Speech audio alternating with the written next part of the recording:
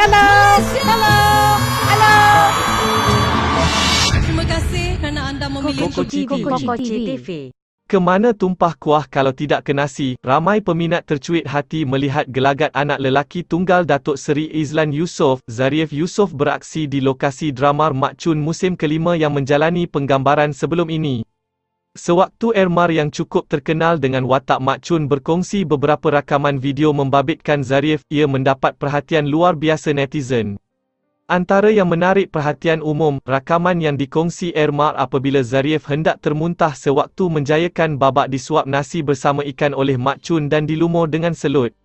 Sewaktu dihubungi bagi berkongsi cerita mengenai pembabitan Zarif sebagai pelakon, kata Izlan sebenarnya dunia lakonan bukanlah baru bagi Zarif mahupun kakaknya, Vai Zaarar, 14 tahun.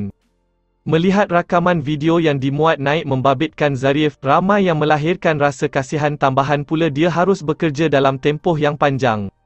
Membintangi drama bersiri sudah tentu kerjanya jauh berbeza berbanding iklan. Satu perkara yang saya tanya kepadanya setiap kali pulang daripada set penggambaran, adakah dia rasa berlakon menyusahkan atau menyeronokkan?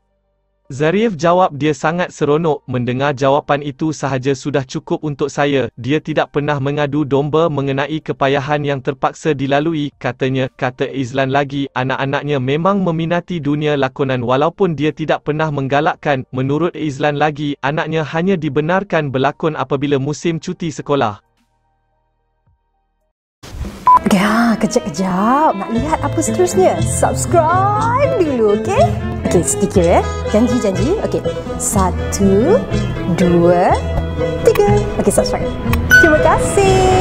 Jangan main dengan sumpahan mulut aku.